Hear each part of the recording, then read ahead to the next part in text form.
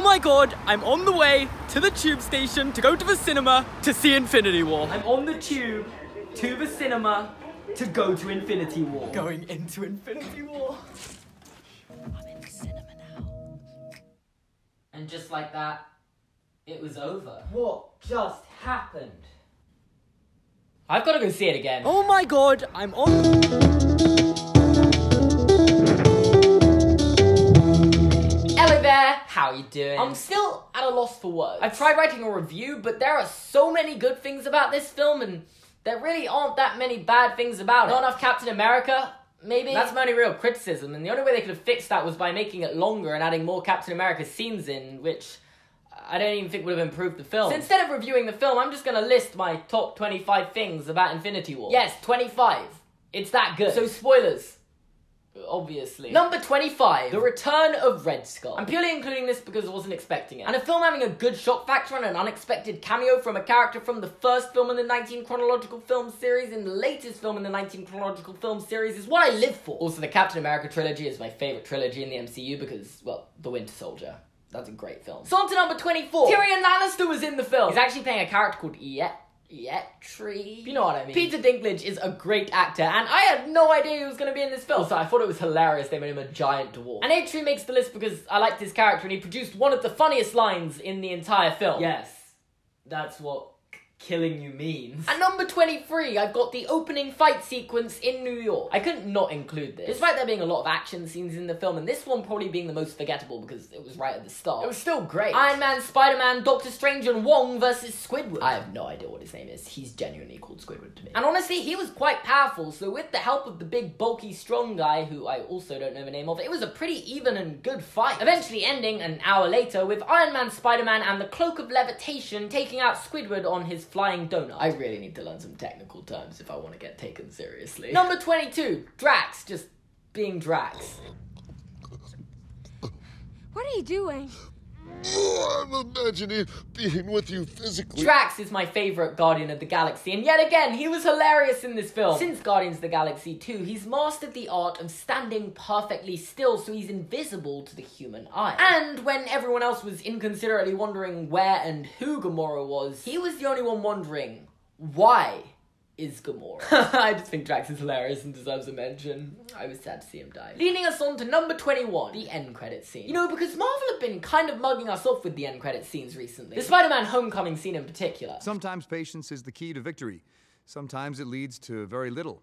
And it seems like it's not worth it. But in Infinity War, we actually get a good end credits scene, killing off Robin Scherbatsky and Samuel L. Jackson and teasing Captain Marvel. And with all the unanswered questions after this film, you know we're gonna go. Which gets us to the top 20, opening with number 20, Captain America and Iron Man don't team up. And I know, this is a really weird thing to like about the film. Surely it should be the opposite, right? But no, this is genuinely something I thought was really good. Because before the film, looking at the trailers, I just thought they were gonna put their feelings towards each other aside, disregarding everything that happened in Civil War. And since Civil War is one of my favorite Marvel films, I didn't want to see it just become an irrelevant filler. A cool one, but still. But that doesn't happen. Civil War remains relevant. Iron Man and Cap don't team up, inevitably probably being the reason they don't win in the end. Number 19, Doctor Strange, Iron Man, and Spider-Man versus Star-Lord, Drax, and Mantis. Not a fight scene I was expecting, but definitely not a fight scene I'd want the film to get rid of. This turned into an awesome 3v3 fight with them all thinking they were fighting Thanos' servants. And it was just awesome. But it somehow got even better when they realized they were all on the same side, and it just produced some of the funniest moments in the film. And while we're talking about fight scenes, we can't forget number 18, Hulk versus Thanos. Because while we unfortunately only got one Hulk scene in the film, I think that one scene was enough. It perfectly does its job of revealing just how powerful Thanos was right from the start. Albeit with an Infinity Stone, but it was still totally wicked. Number 17. Somehow, in a film with over 40 important characters, no character felt forced in. Yeah, they managed to seamlessly transition everyone in. Captain America's entrance was my personal favourite, but they were all pretty good. I love the fact they played the musical themes of every character when they were first introduced. For example, the Guardians all singing along to Rubber Band Man by the Spinners in their spaceship.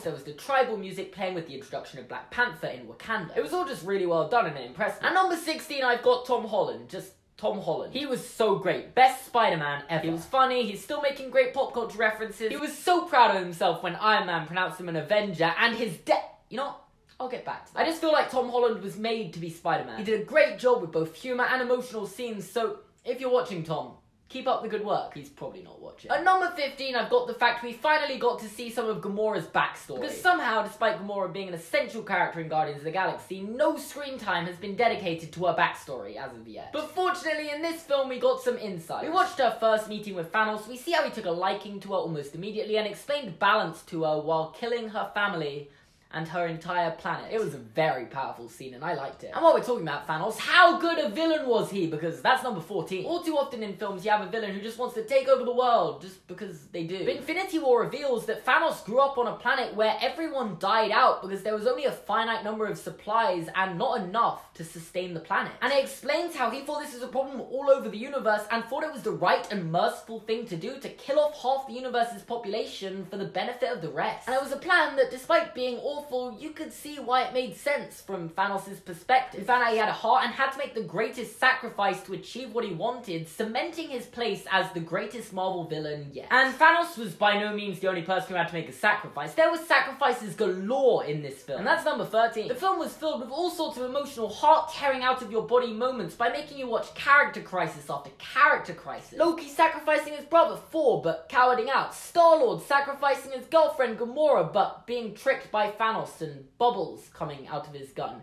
And Scarlet Witch having to sacrifice Vision, but again, she was tricked by Thanos and he turned back time and it was all rendered useless. Was it overused? Maybe. Did it help make the film the incredible emotional roller coaster it was? Definitely. Which is partly why I think the film will age well, and that's number 12. Because it is so rare for a Marvel film to age well. They're usually so good to watch the first time, but once you've watched it a few more times, you realize they're never as good as they were upon first viewing. This film, on the other hand, stands out from the crowd and was just as thrilling the first time as it was the third time. I still get goosebumps just thinking about the end. I would genuinely describe it as a cinematic masterpiece and think it will go down as one of the all-time great films. Which leads us on to number 11. Thanos killing off Loki and Heimdall in the first 10 minutes. Again, not a standout event a lot of people would like about the film because they are two characters people generally like. But you know what? It set a tone for the film and said right from the start that Thanos means business. And in turn, this film's gonna be intense. And I think it's really important the film started this way because otherwise the later risks they took wouldn't have worked. It started the film off right and that's number 11. On to the top 10. Led by number 10, Thanos' fight scene on Titan with Doctor Strange, Spider-Man, Iron Man, Star-Lord, Drax and Mantis. And then Nebula as well, I guess. Firstly, this was a really well crafted fight scene, and it shows how good the film is that it's only number 10. There are moments when you thought Thanos might kill all of them, there are moments when you thought Spider-Man might be able to get the gauntlet of Thanos' hands. even though I'd never guessed it, Mantis proved to be Thanos' greatest weakness in the entire film. And while this was a great fight scene, and you felt like you couldn't even afford to blink, the main reason I liked it so much was because the emotional roller coaster it sent me on in the climax. I and basically everyone thought we were going to witness Iron Man's death. And this was an idea I'd kind of come to terms with before the film, so I accepted his fate. And then he didn't die. My heart genuinely stopped for a second, and it was a huge turning point in the events of the film. Number 9, Scarlet Witch's insane power set is insane. This film shows that Scarlet Witch is by far the most powerful Avenger. She saves Vision in the fight scene at the start. She saves all of the Avengers in Wakanda from the rolling war machine things that were gonna crush them. But that's nothing for her. She destroys an Infinity Stone while holding off Thanos, who has five Infinity Stones, at the same time.